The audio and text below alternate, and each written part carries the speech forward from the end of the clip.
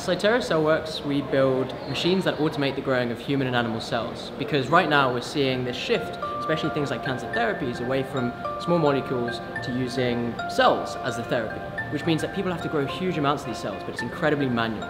And so we actually automate all of these processes so that in research and through to manufacturing, they can scale that, the production of those cells very easily.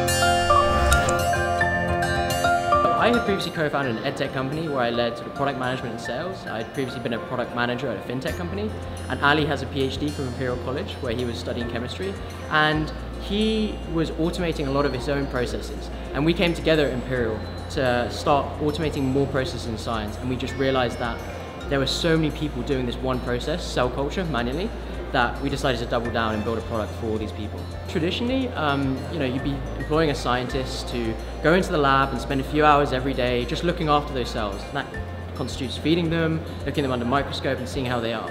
Uh, people have tried to automate cell culture in various different ways before, but not specifically in the way where you can basically take the current format of growing cells and get started with a device straight away. Normally you need months, if not years, of process development just to use an automated device. We use the existing format that they're already used to, so they can just plug in their flasks and start automating their cell culture straight away. We are going to sell uh, devices uh, as one-off hardware fees around $20,000, which is really accessible to small biotech companies and even the big ones. Um, and we have consumables that people can buy which are all come pre-sterilized and are really easy to use. And we're looking at interesting ways to enable people to do analysis with our software. We have some really cool pilots lined up with people in the clean meat space, the cell therapy space and longevity spaces.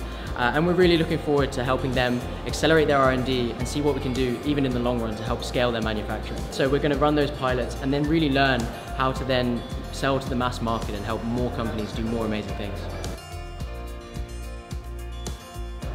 All right, this is Ignacio Willats from Cytera, and this is his interview.